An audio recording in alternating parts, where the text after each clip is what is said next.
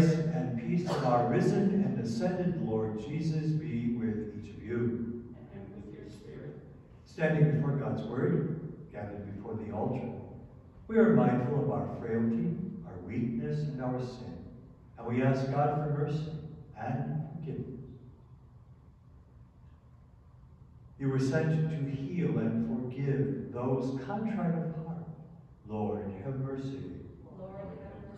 Lord, have mercy. You nourish and strengthen us with word and sacrament. Christ, have mercy. Christ, have mercy. Your messengers asked the apostles, Why are you staring skyward? Lord, have mercy.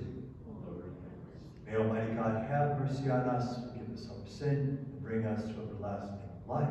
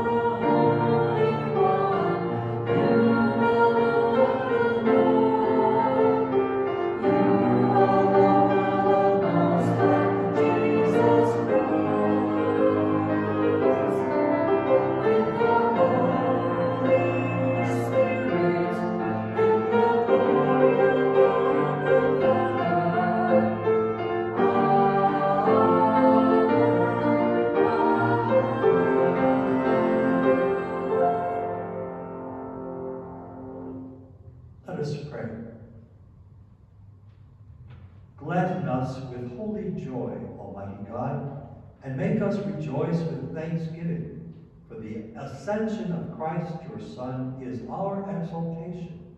And where the head has gone before in glory, the body is called to follow in hope. We ask this through our Lord Jesus Christ, your Son, who lives and reigns with you in the Holy Spirit, God, forever and ever.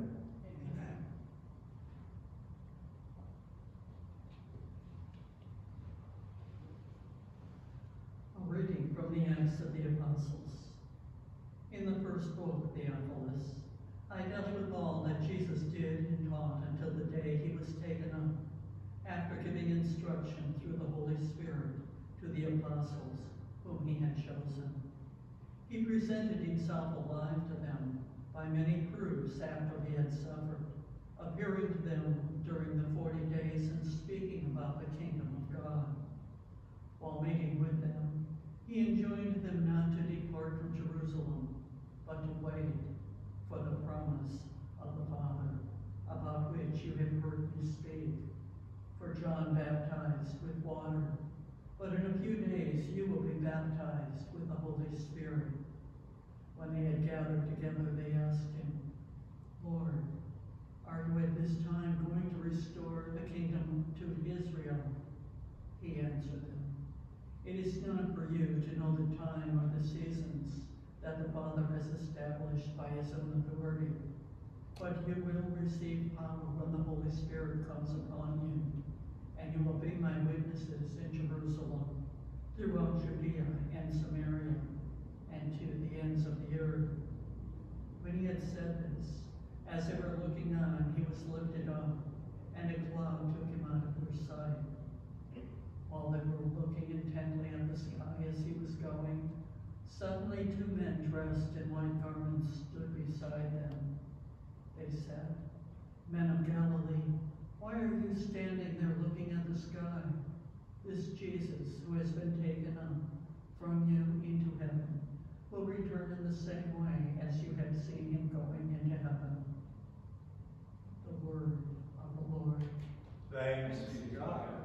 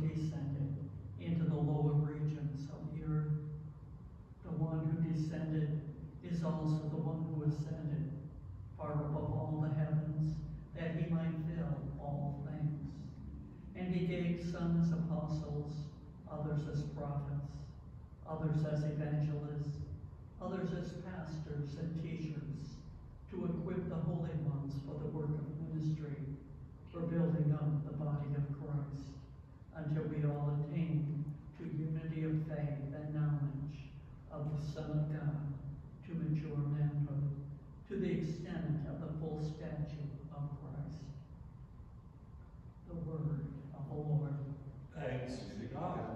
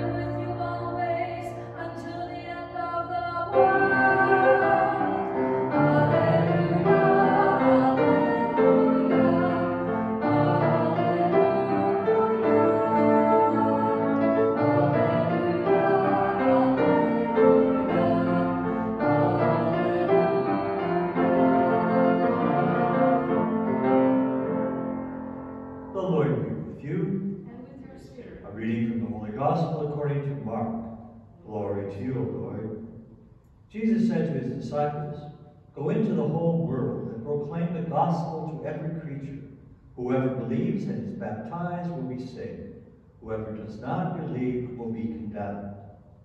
So then the Lord Jesus, after he spoke to them, was taken up into heaven and took his seat at the right hand of God. But they went forth and pre- preached everywhere, while the Lord worked with them and confirmed the word through accompanying signs. The Gospel of the Lord.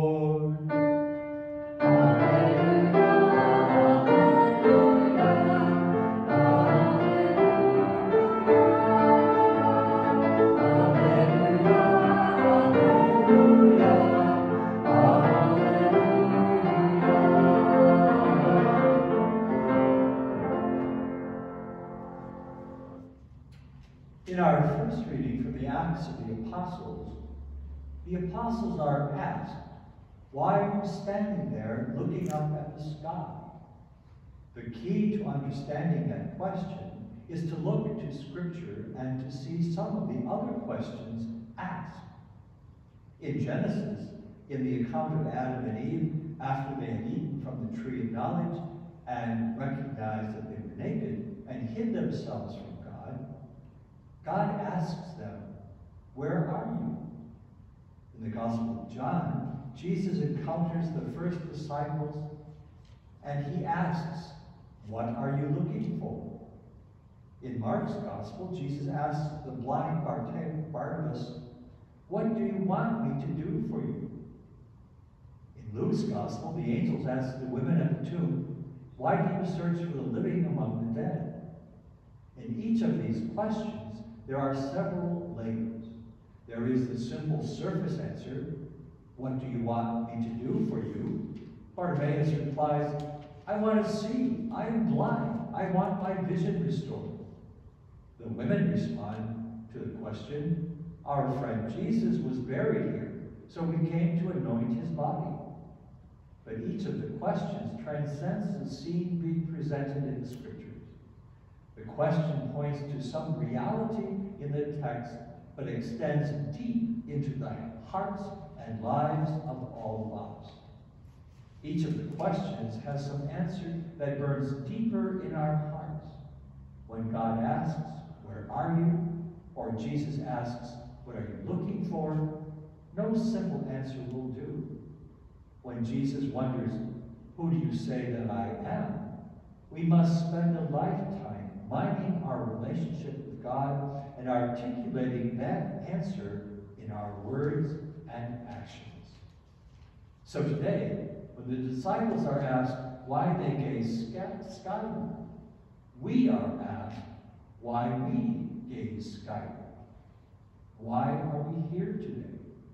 What are we looking for from the ascended one?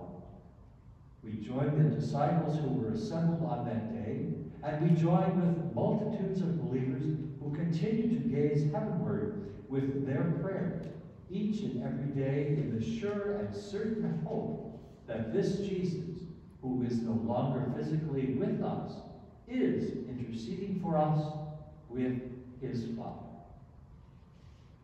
Amen. Let us together make our profession of faith.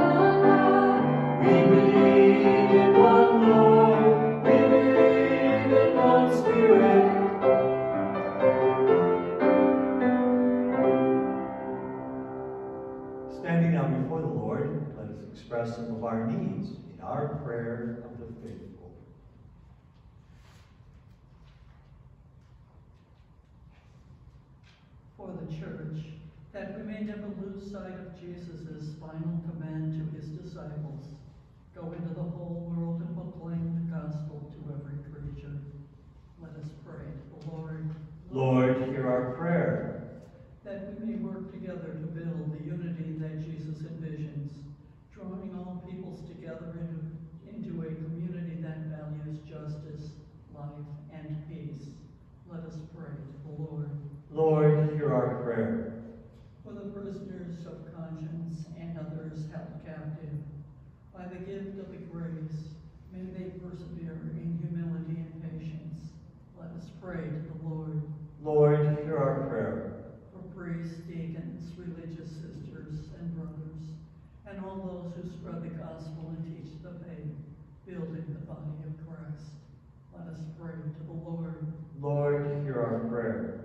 for this community's mission to go forth and proclaim the good news. May we sense the Lord working through us and minister to those in need. Let us pray to the Lord hear our prayer. for those who await mental, physical, and emotional and spiritual healing, that God's grace may touch them and bring them healing. Let us pray to the Lord. Lord, hear our prayer. that the departed may rejoice as they are called into fellowship with Christ, including Jeannie Coringi, Father Robert Witkowski, senior priest of the Archdiocese, and Danny Saputo, mother of Joe and mother of Jessica. Let us pray to the Lord. Lord, hear our prayer. As a worshiping community, we are united with our family of faith. Together we pray for the following intentions. Andrea Sardelli family, Ralph Pearson, Sylvia Lipsky, Mary Lois Gilnet, Chester Chmielewski, Peter Vitale, Madeline Harold and Joseph Addy, Anthony and Joseph Tundo, Anna Hedke Tundo, James Clark Pritchard, and Our Lady of Hope ushers, past and present. For all of them, we pray to the Lord. Lord, hear our prayer. Lord God, as we celebrate the ascension of your Son, to your presence, we ask that he send his Holy Spirit to us to fill us and to fill the church. We ask this in his name, for he lives with you in that same Holy Spirit, God, forever and ever. Amen.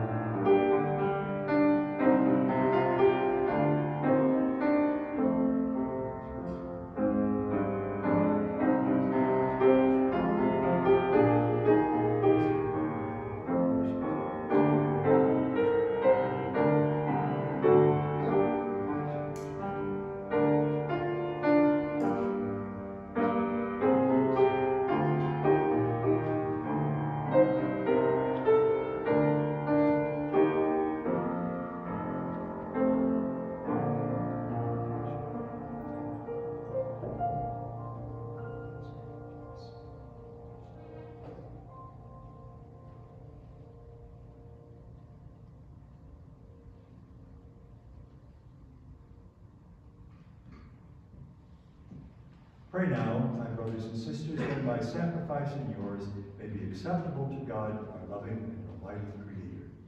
May the Lord accept the sacrifice and the praise and glory of his name, for our good and good of all his holy church. We offer now this sacrifice, O Lord, to honor the wondrous ascension of your Son. Grant, we pray, that through this most holy exchange, we too may rise up to the heavenly realms. We ask this Christ our Lord. Amen.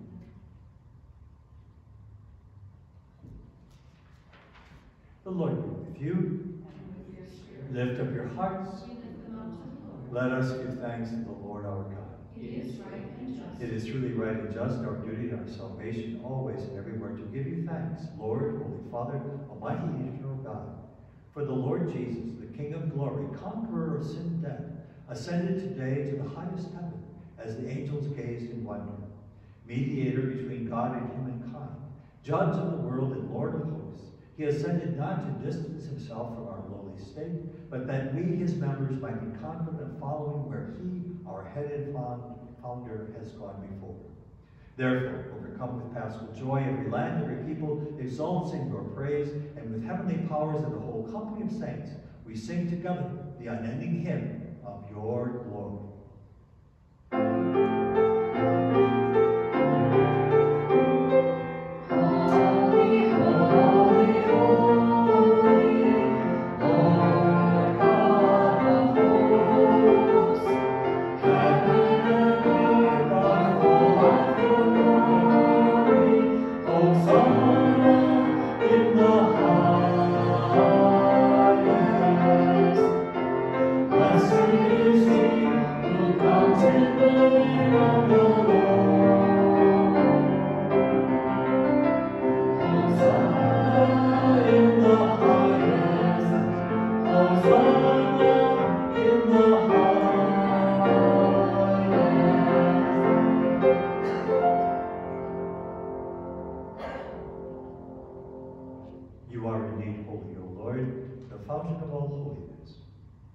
Thee, therefore, these gifts, we pray, by sending down your Spirit upon them like the dew, so that they may become for us the body and blood of our Lord Jesus Christ.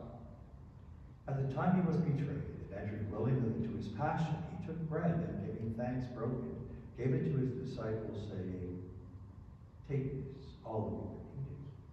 For this is my body, which will be given up for you.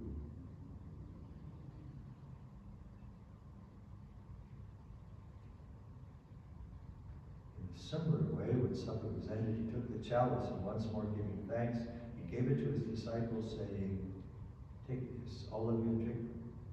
For this is the chalice of my blood, the blood of the new and eternal covenant, which will be poured out for you and for the many, for the forgiveness of sins.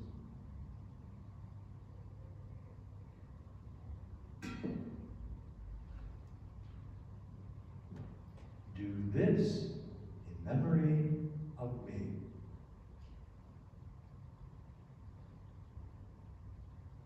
The mystery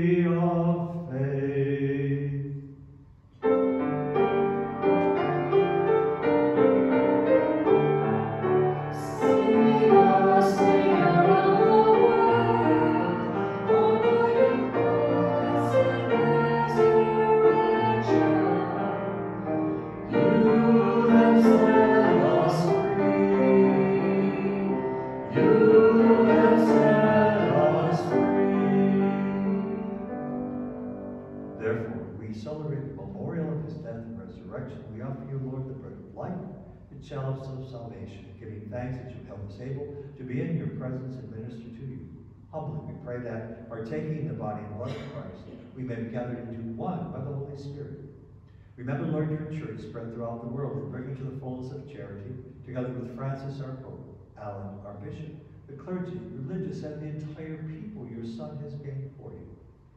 Remember us, our brothers and sisters who have fallen asleep in the hope of the resurrection, and all who died in your mercy. Welcome them into the light of your presence.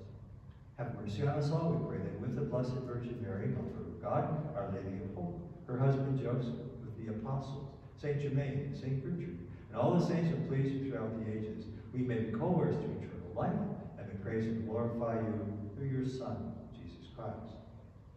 Through him, with him, in him, in the unity of the Holy Spirit, all glory and honor is yours, Almighty Father, forever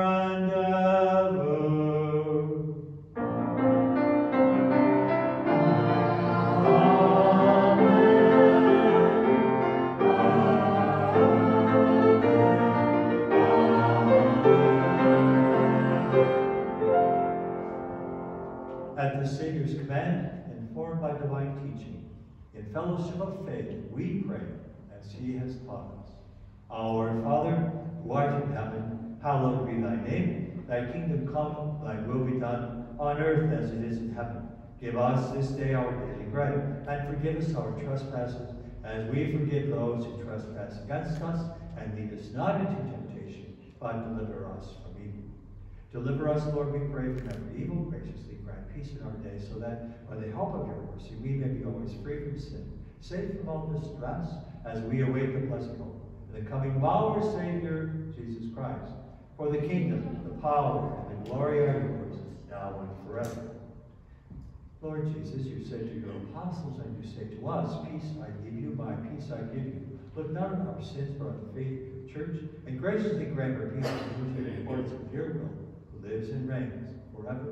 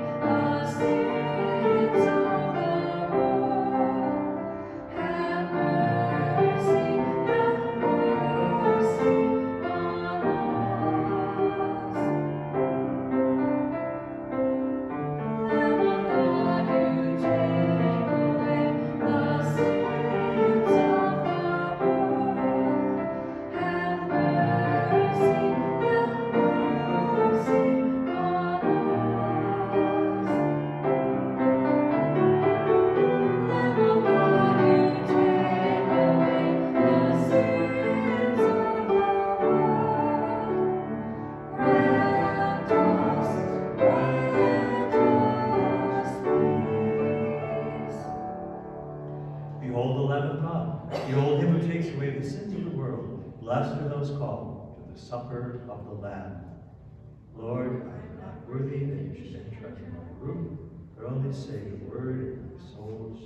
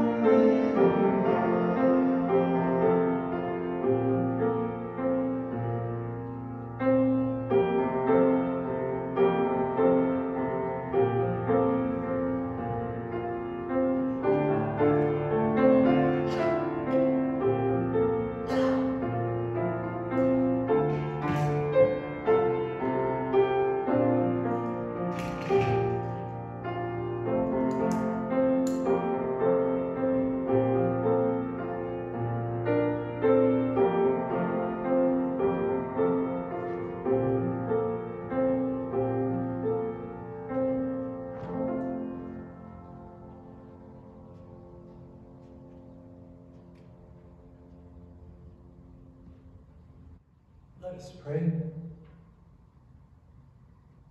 Almighty ever living God, you allow those on earth to celebrate divine mystery.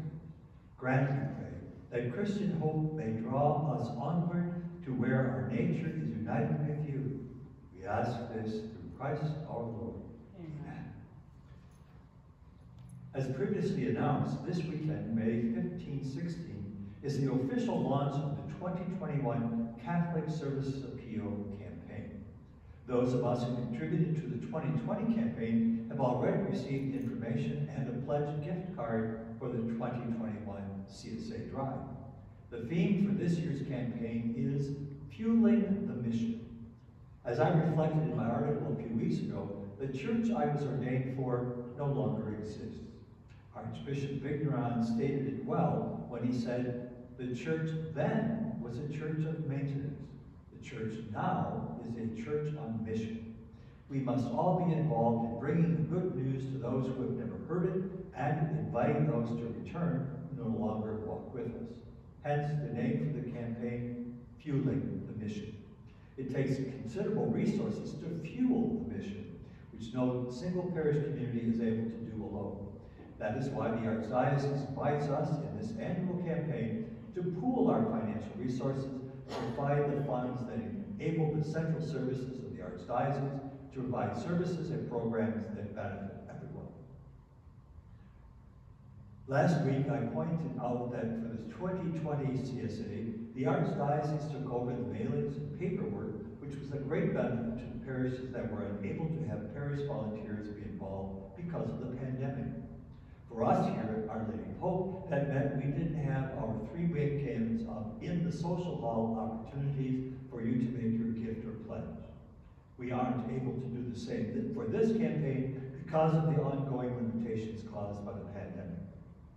Our target for CSA 2021 is just over 5,000, uh, excuse me, I wish it was 5,000. It was just over 75,000. I know that 5,000 has already been pledged, so we are already on our way. I would encourage you to prayerfully consider making a gift or pledge to this year's campaign. I have been so encouraged by your support of the parish during these difficult times. May I count on your support in reaching our target for the CSA. If you are considering a gift for the first time, I would ask that you contact Jim Weller, our business manager. His phone number and email address can be found online or can be found in our bulletin. Thank you for your support. The Lord be with you. And with your spirit. Bow your heads and pray for God's blessing. May Almighty God bless you, for on this very day His only begotten Son pierced the heights of heaven and unlocked for you the way to ascend to where He is. Amen. May He grant that as Christ, after His resurrection, was seen plainly by his disciples, so when he comes as judge, he may show himself merciful to you for all eternity. Amen. And may you, who believe he is seated with the Father in his majesty, know with joy the fulfillment of his promise to stay with you until the end of time. Amen. May Almighty God continue to bless you, the Father, the Son, and the Holy us now go to love and serve the Lord and one another. Alleluia, alleluia. Thanks be to God. Alleluia, alleluia.